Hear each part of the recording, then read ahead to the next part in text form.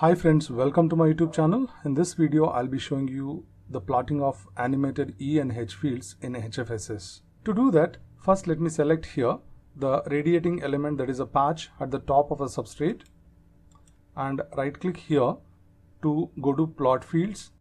Select here E field and you can select um, vector E. Then here you can just click on done and you can see the electric field is plotted here. So to animate this electric field, what we do, we will just go to this project manager and click on this E field, select this vector E1, right click and click on animate. Here, so the animation one sweep is created and you just click on OK. Now we can see the electric field is animated here. So from the plot it is very clear that the electric field is maximum at the edges and it is minimum at the center of the patch antenna. You can observe this very clearly here in this animation. Similarly, we can plot the magnitude of E field by selecting this radiating element and select this plot fields, go to E field and click on magnitude of E field. So here you just click done and you can see here this is the electric field which is plotted.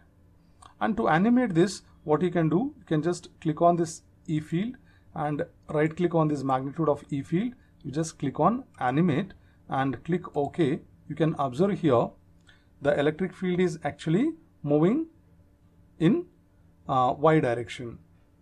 So this is very clear. The electric field movement is taking place in y direction.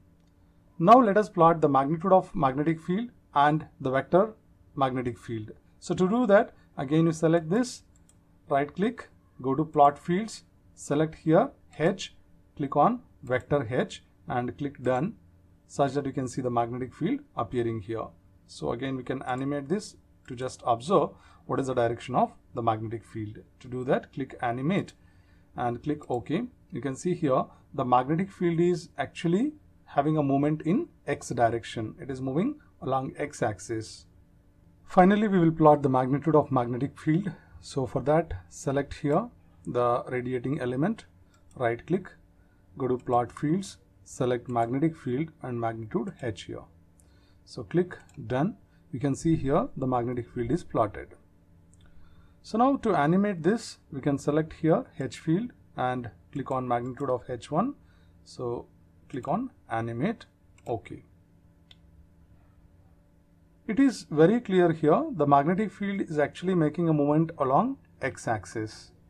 This is how we can plot the animated graphs of electric field and magnetic field for any antenna.